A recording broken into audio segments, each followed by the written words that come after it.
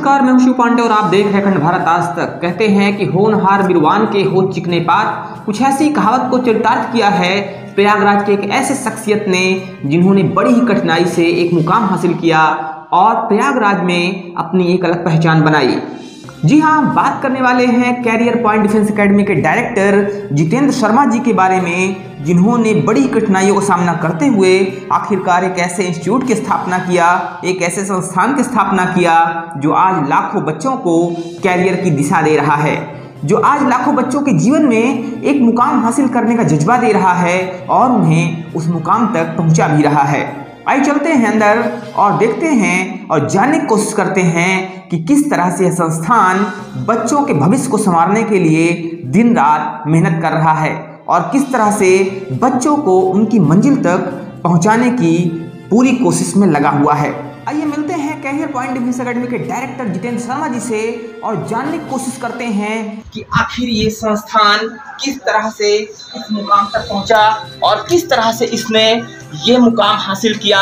आज जिस तरह से ये संस्थान लाखों बच्चों के सपनों को साकार कर रहा है, वो अपने आप में एक बहुत ही सराहनीय कदम है। तो हम हैं कैडेट्स पॉइंट अकेडमी के डायरेक्टर जितेंद्र सर के साथ में और आइए जानने की कोशिश करते हैं इनके जीवन के विषय में। और किस तरह से इस मुकाम तक पहुँचे? क्योंकि एक बड़ी बात है जिस तरह से आज लाखों बच्चों की ज़िंदगी सुधार रहे हैं और उन्हें एक नई दिशा दे रहे हैं उन्हें उनकी मंजिल तक पहुँचा रहे हैं। अपने आप में एक काबिल तारीफ़ है। तो आइए जानने की कोशिश करते जितेंद्र सर से। नमस्कार सर। नमस्कार। थैंक यू सर कि आपने हमें एक प्लेटफॉर्म दिया बात करने का और रखने का। जी। और मैं आपका शुक्र शुक्रगुजारी हूँ कि आपने मुझे ये मौका दिया। और हम आपको ये कहना चाहते हैं कि ज़िंदगी इतनी आसान नहीं है सर। जी। और मुझे तो लगता है कि कहीं ना कहीं भगना भी नहीं चाहिए लाइफ से।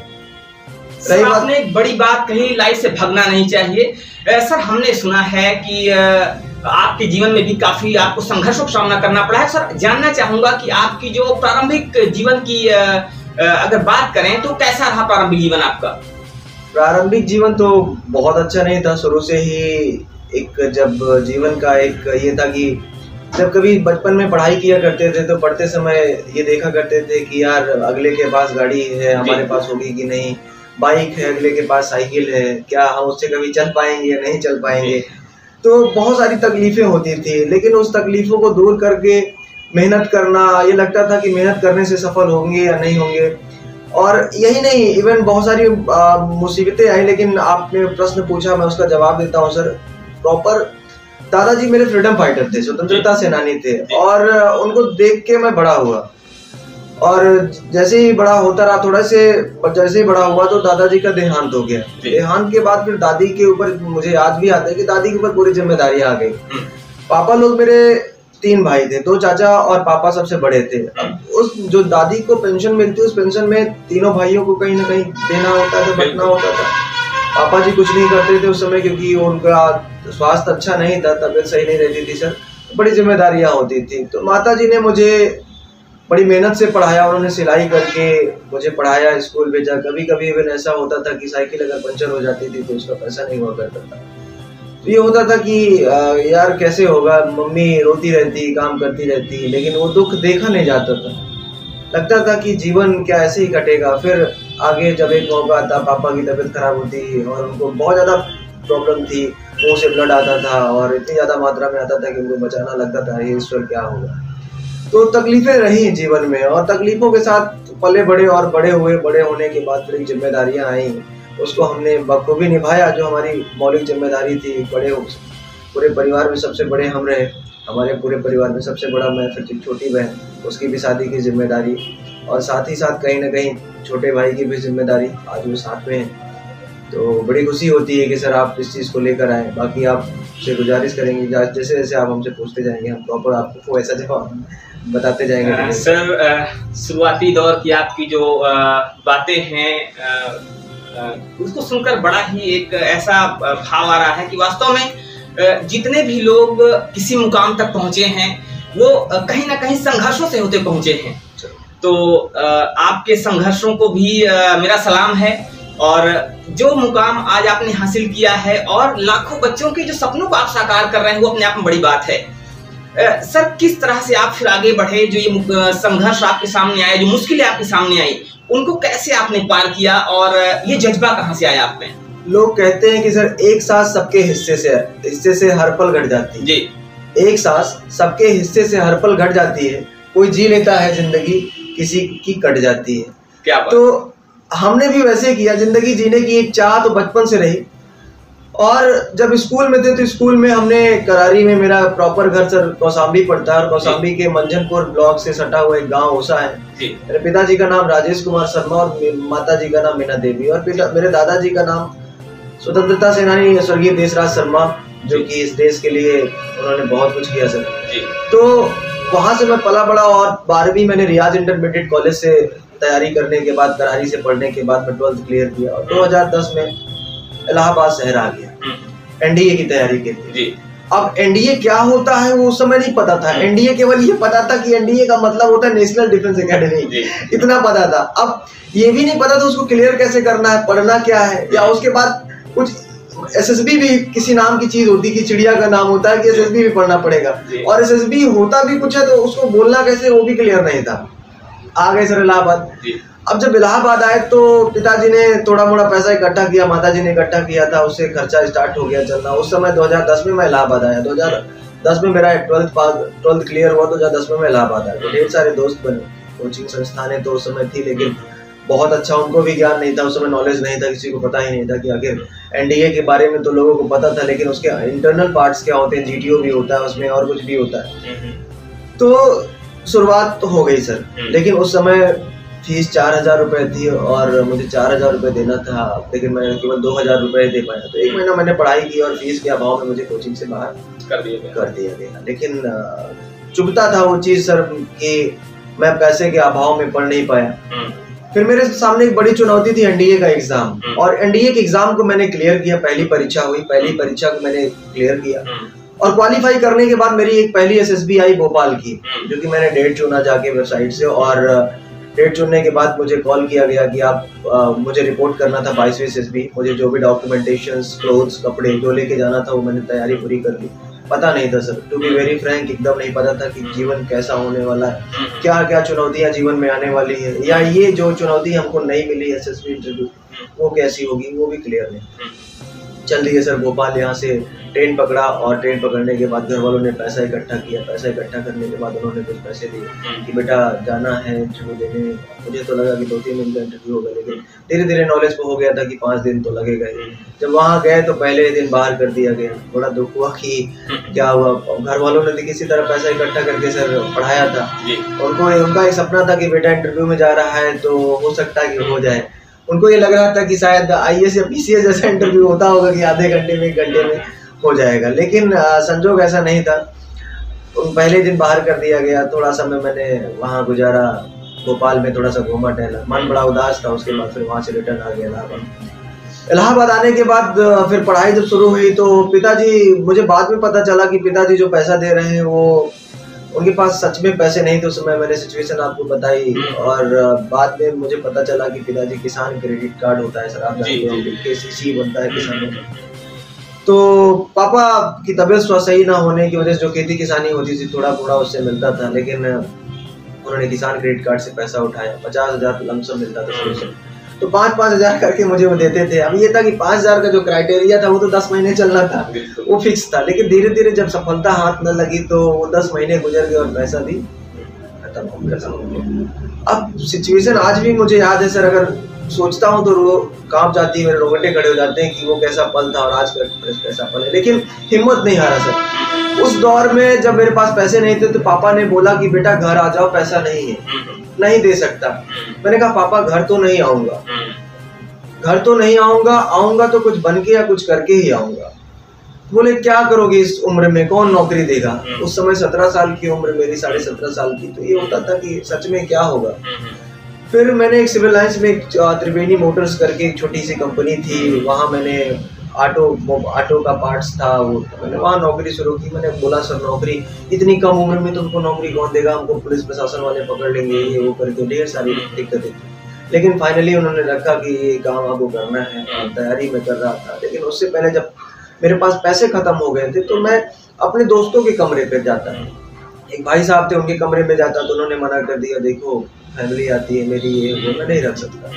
उसके बाद दोस्त के कमरे में जाता तो वो गाली दे के भगा देता यार खाने के लिए नहीं, तुम्हारे पास पैसे नहीं, हम कहाँ से बेयर करें? दोस्त, तीसरे दोस्त के यहाँ जाता वो मना कर देता लेकिन कुछ दोस्त ऐसे भी मिले जिन्होंने एक दो दिन का सहारा दिया, बोला, तुम रहो, मैं, हम हैं, हम ज़िंदगी, कोई बात नहीं, हमारी भी जैसे कट रही क्या होगा, एक आदमी और खाना खा लेगा। तो ऐसे कटती रही ज़िंदगी और कभी कभी तो ये भी पलाया सर कि कहना तो नहीं चाहिए कि इस वीडियो में मैं सुसाइड पॉइंट तक भी गया नैनी पुल से लगता था कि शायद कुछ कर लेना चाहिए खुद के जान दे देता हूँ। लेकिन फिर हिम्मत नहीं हारी मैंने। मुझे लगा वहाँ से जाता और लौट आता, सर।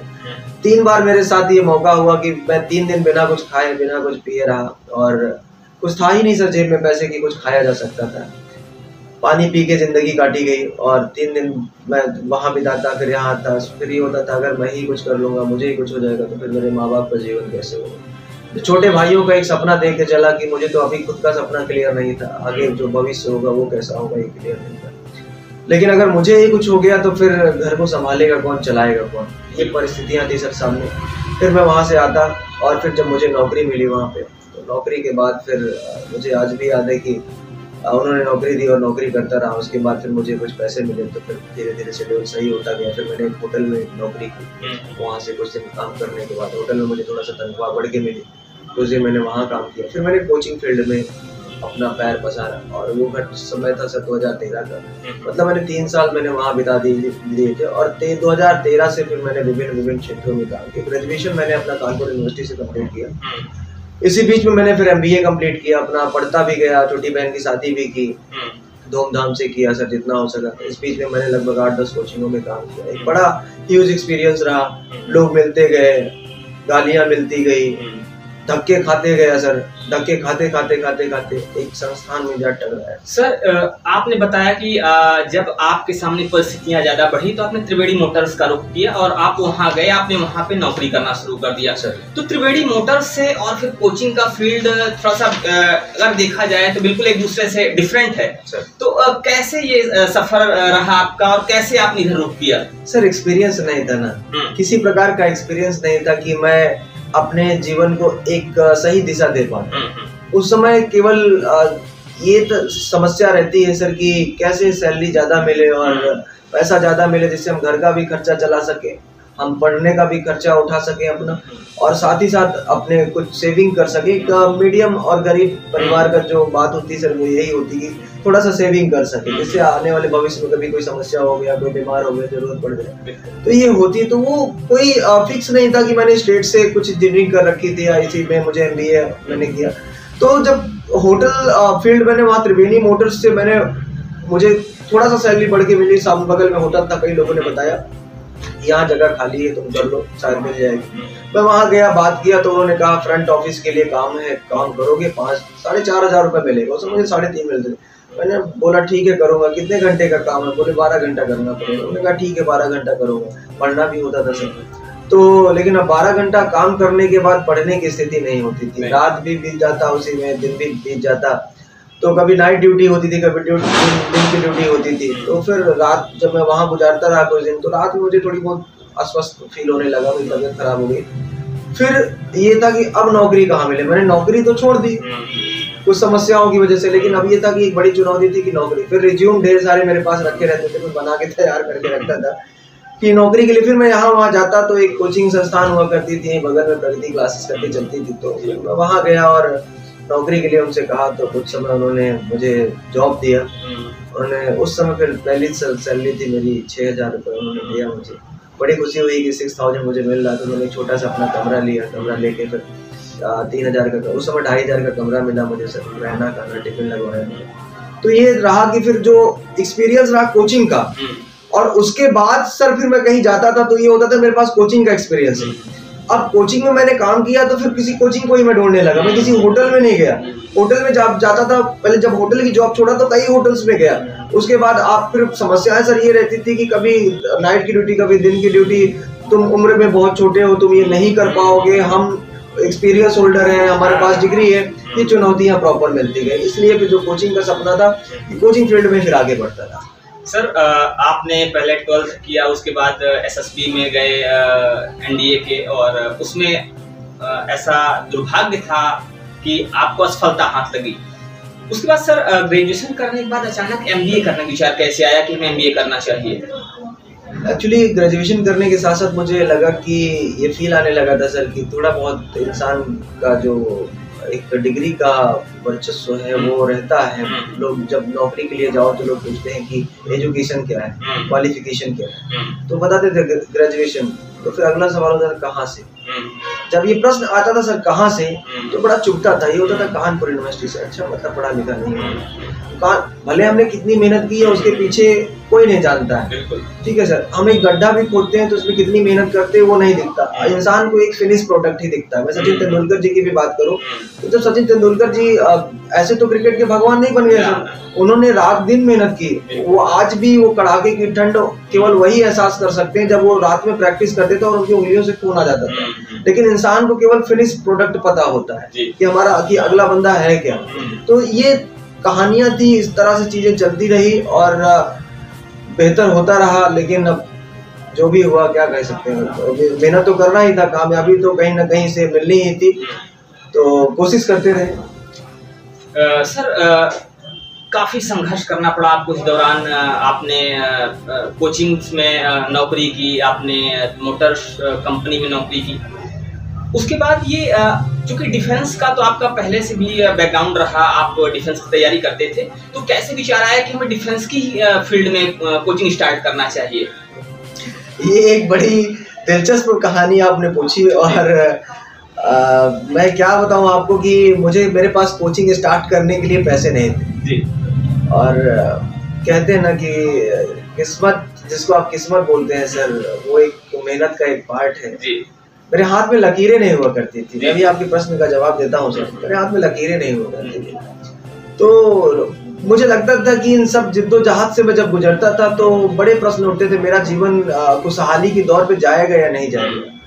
तो ये बड़ा प्रश्न होता था। तो मैं जाता था, सर, किसी बाबा के पास, आप जानते हैं, ढेर सारे बाबा यहाँ वहाँ बैठते हैं। तो मैं जब जाता तो उनको दिखाता, सर मेरा हाथ देखिए, कुछ बनेगा, कुछ मिलेगा या नहीं मिलेगा? तो बाबा बोलते थे, बेटा कौन सा फूल तुमको पसंद है? तो अब ये होता था कौन सा फूल पसंद है? तो स्वाभाविक सी बात है गुलाब सबको पसंद रहता है। मैंने गुलाब पसंद है। अरे बेटा आपको गुलाब नहीं बोलना चाहिए अगर आप चमेली बोल देते तो शायद आपका भविष्य उज्जवल होता। हम्म, और कि फिर अ, ये था कि भाई भविष्य उज्जवल है ही नहीं कुछ नहीं कर पाएँगे लग रहा। है एक तो एक डिमोटिवेशन जो था असफलता वो बराबर कदम से कदम मिलाकर चल रही थी। हम्म, मेरे जीवन में ये बराबर रहा कि मेरी सफलता मेरे साथ बराबर चल रही थी। लेकिन कामयाबी मुझे मिले ना मिले, ये अलग बात है। पर मैं मेहनत ही ना करूँ, ये गलत बात है। तो मैंने मेहनत कभी भी ना करना सीखा ही नहीं। मैं बराबर, मुझे लगा कितने दिन ये मेरे साथ ये मतलब कामयाबी मुझे कब तक नहीं मिलती, मैं देखता हूँ। और असफलता कब तक मेरे साथ चलती है, मैं ये भी देखता हूँ तो मैं बराबर चलता रहा फिर एक बाबा से मिलता तो चिड़िया वाले सर आप जानते हैं कि पिंजरे से चिड़िया निकालते और उस चिड़िया में एक चिड़िया जाती और एक उठ- उठाती उसमें से, फ़ोटो अच्छा ये तो बेटा नहीं हो सकता। लेकिन सर, मैं आपको एकदम सही बताता हूँ, ये मेरे ज़िंदगी का एक अलग सा एहसास, एक अलग सा अनुभव है, आपकी किस्मत। आपके लिए मायने नहीं रखती सर। आपकी हाथ की लकीरें आपके लिए मायने नहीं रखती। आपका काम आपका परिश्रम आपका हार्ड वर्क आपका स्मार्ट वर्क आपको एक बेहतर इंसान बनाता है। वही आपकी किस्मत है और वही आपकी हाथ की लकीरें हैं। जब से आप एक ठान लेते हैं कि मुझे ये करना है तो वो लकीरें ऑटोमेटिक आपके हाथ में बनना शुरू हो जाती है और आज सर मेरे हाथों में लकीरों की कमी नहीं है। ये सच्चाई है सर। एक आपको एक स्टोरी सुनाता हूँ सर। एक माँ जब अपने बच्चे को जन्म देती है सर तो नौ डेसिबल इंसान साइंस कहता है कि नौ डेसिबल के दर्द के बाद इंसान की मृत्यु हो जाती है। साइंस ये कहता है। लेकिन जब एक माँ अपने बच्चे को जन्म देती है सर तो बारह डेसिबल के दर्द से। ये एक मिरेकल है। जी। ये एक मिरेकल है जिसका जवाब किसी भी इंसान या किसी भी साइंस के पास नहीं है। ये सर सब सच बता रहा हूँ आपको इसके लिए इंसान को ठानना पड़ता है। जब आदमी ठान लेता है ना तो फिर कुछ भी मिल जाता है। तो आप जो उस गरीबी को उस परेशानी को उस पिता के किसानी को उस पिता की बीमारी को उस माँ माँ को जब आप देखते हैं ना और उसको जब एक पन्ने में उतारते हैं ना तो फिर सफलता क्या फिर दुनिया की कोई भी ताकत होती है आप उसे क्लियर कर लेते हो। फिर आ, कोचिंग क्या फिर कुछ भी होता है आपको मिल जाता है। और आपका प्रश्न रहा साहब कि कैसे इस फ़ील्ड में आप आए? और ये फ़ील्ड मेरे लिए बड़ा एक चैलेंज था कि मैं कोचिंग में काम करता था तभी मेरे जीवन में एक अद्भुत शक्ति का प्रवेश हुआ और वो शक्ति का नाम है कर्नल सौमित्र दत्त हम्म, जो शायद मेरे गुरु मेरे गॉडफादर जिनको मैं मानता हूँ मेरे जीवन में मेरा कोई गुरु नहीं रहा मैंने कभी किसी को नहीं माना। और मैंने ये भी नहीं कहा कि मेरे जीवन में कभी कोई दोस्त ही नहीं रहा। ये भी एक सच्चाई उसका कारण केवल ये रहा क्योंकि मेरे पास पैसे नहीं। मैंने अपनी परेशानियों से मैं अपनी परेशानियों से कभी उभरा ही नहीं था कि मेरे साथ कोई दोस्त या फ्रेंडशिप के लिए मुझे समय मिल पाता है या फिर कोई दोस्त मेरे साथ दोस्ती के लिए हाथ बढ़ा पाता है। तो ये समस्या मेरे पास थी और कर्नल साहब से एक पहली मुलाकात मेरी हुई। मैं एक अकेडमी में काम करता था और वहाँ जब अकेडमी छोड़ के बाहर चला गया तो फिर उनको मुझे प्रॉपर देखते थे। अब वो इतने बड़े अफसर थे, उनसे मैं कैसे पूछता कि, सर, आप कैसे हैं? क्या है? तो उन्होंने उस अकेडमी में पूछा, यार, वो जितेन कहाँ गया? तो लोगों ने बताया तो सर, छोड़ दिया छोड़ दिया वो तो इतना मेहनती था, इतने दिन से काम करता तो उसने क्यों छोड़ दिया? बोले सर सेल्फ रिस्पेक्ट रही होगी या फिर क्या प्रॉब्लम रही होगी? उन्होंने उस नहीं किया, छोड़ दिया उस काम को। तो फिर वो ढूंढते ढूंढते मुझे एक अकेडमी में पहुँच गए। भाई कोचिंग फ़ील्ड में चलता रहा, दसियों साल बीत गए, दसियों साल होने वाले